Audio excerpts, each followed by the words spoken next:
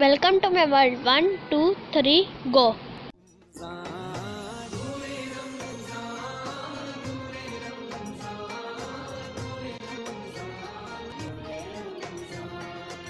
So hello जी। So Aslam दोस्तों welcome back to the another new blog चल झूठा।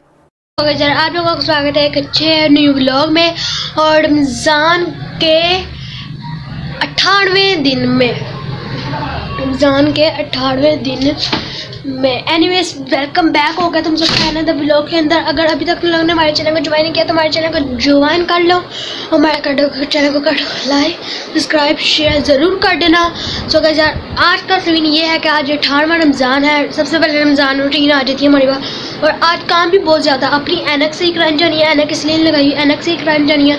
उसके बाद फिर हमने गोल गप्पे भी खाने जाने हैं।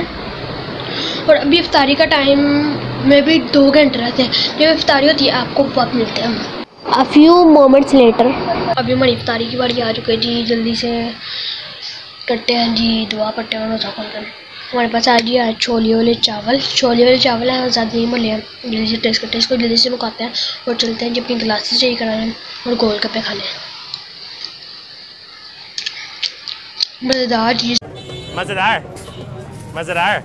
सब बढ़िया ही है।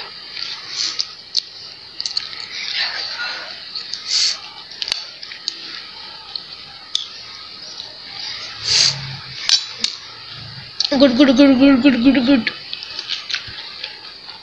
तो कहते हैं चलिए, अब हम अपनी ग्लासेस सही कराने चलते हैं। और गोल कपे खाने चलते हैं आपको गोल कपे मेरी दुकान में जाकर मिलते हैं। वन आवर्स लेटर सो गए अभी हम आ चुके हैं जी गोल कपे खाने। यहाँ पे मुल्तानी गोल कपे गोल बाग के पास। देख सकते तुम लोग कितना बड़ा अभी आपको टेस्ट करके बताते हैं जी कैसे हैं जी। अभी अंदर मुँह अंदर डालते हैं जी मुँह के अंदर। यो होए